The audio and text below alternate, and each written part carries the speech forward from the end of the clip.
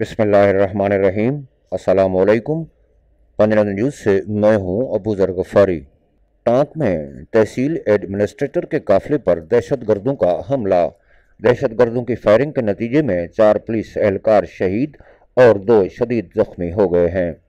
Tank में तहसील mayor के काफिले पर दहशत गर्द हमला।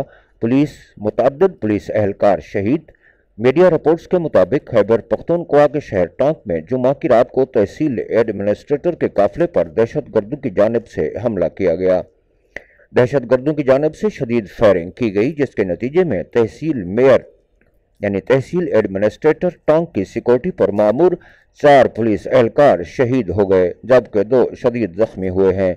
जख्मी पुलिस एहलकारों को फौरी तौर पर हस्पताल मुंतकिल कर दिया गया, जबकि हमले के दौरान तहसील एडमिनिस्ट्रेटर टांक महफूज रहे। हमले के बाद सिक्योरिटी फोर्सेज ने टांक में सर्च ऑपरेशन का आगाज़ कर दिया है।